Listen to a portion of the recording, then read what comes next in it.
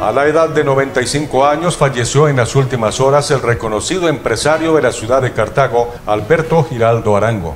Don Alberto Giraldo, como era conocido en el gremio de comerciantes de la ciudad, era el propietario del famoso depósito y quesera Alberto Giraldo, establecimiento comercial que por más de cinco décadas le ha servido a la ciudad y a la región del norte del valle con el expendio de productos utilizados en el campo de la panadería y la repostería. Alberto Giraldo hizo parte de las tantas familias paichas que por diferentes motivos llegaron a esta región hace muchos años. Había nacido en el municipio de Marinilla, Antioquia, y desde así 55 años se había radicado en la ciudad de Cartago, donde desarrolló su labor como comerciante, siendo reconocido por su gran altruismo y aporte al progreso de la ciudad desde su establecimiento localizado en el sector de la galería en el centro de la ciudad y siempre se consideró como un cartagüeño más. A don Alberto le sobreviven ocho de sus once hijos, la mayoría de ellos dedicados a la misma labor, entre ellos Beatriz Elena Giraldo Gómez, actual concejal de la ciudad. Las exequias del ilustre ciudadano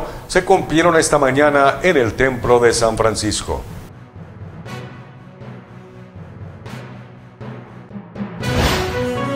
Conductor de una volqueta perdió la vida ayer al sufrir un accidente en zona rural del municipio de Ansermanuevo. La víctima, identificada como Juan Betancuro, falleció al sufrir politraumatismos cuando el pesado vehículo rodó por una pendiente por causas desconocidas. El rescate del conductor fue realizado por personal del Cuerpo de Bomberos de Ansermanuevo y ocurrió en la vía que conduce hacia la vereda La Puerta en la zona montañosa del municipio. Se investiga si una falla mecánica fue la que originó la tragedia.